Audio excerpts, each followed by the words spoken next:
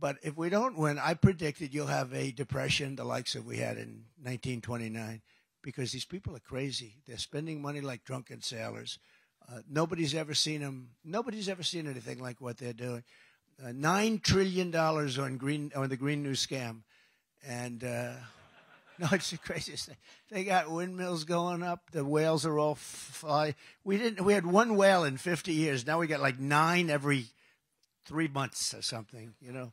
So it's doing something. You know, they said, "Oh, maybe it's not the windmills. It's doing something." You know, that noise goes down there. Those whales are getting crazy, but it's so bad. It's so bad for everything. The wind is is a rough one because it kills all your birds. It's the most expensive energy uh, you can get. It's intermittent. I used to joke. You remember?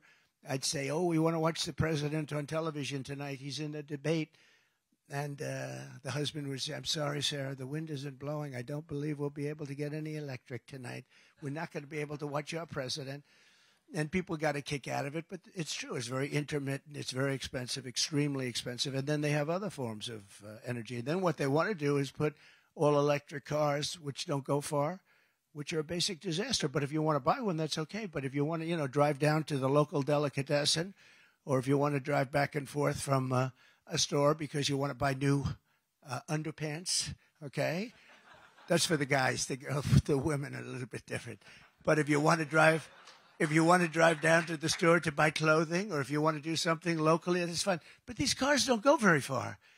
And, you know, if you say, gee, let's drive to Idaho, let's get some beautiful potatoes in Idaho, uh, it's not going to work out too well because you'll have to stop about six times and it's just crazy what they're doing. And you know, the, the gas stoves they're going to take away, and all of that stuff will be gone the first day because I, it's an executive order. The one good thing about an executive order is you can terminate it immediately. And he basically only gets executive orders because that's all he can get. He can't get anything through much through Congress, but he gets executive orders and he just signs them. But that's both good and bad because when we do it, we want to keep it.